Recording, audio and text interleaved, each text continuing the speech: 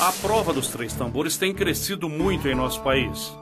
A aferição é feita eletronicamente através de um conjunto de fotocélula.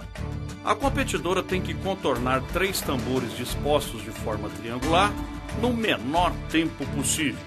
Se porventura a competidora vier a derrubar algum tambor, ela será penalizada em 5 segundos por tambor derrubado. Logo após a sua apresentação, ela terá o seu animal vistoriado. Caso tenha alguma marca proveniente de espora ou mesmo de chicote fora do padrão, ela será automaticamente desclassificada.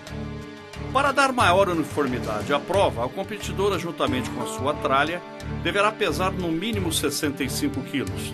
Caso isso não ocorra, há necessidade de complementos que são feitos através de pesos até atingir o numeral estabelecido. O conjunto de fotocélula afere até milésimos de segundos, ou seja, até três casas após a vírgula. Super Horse Três Tambores Brasil.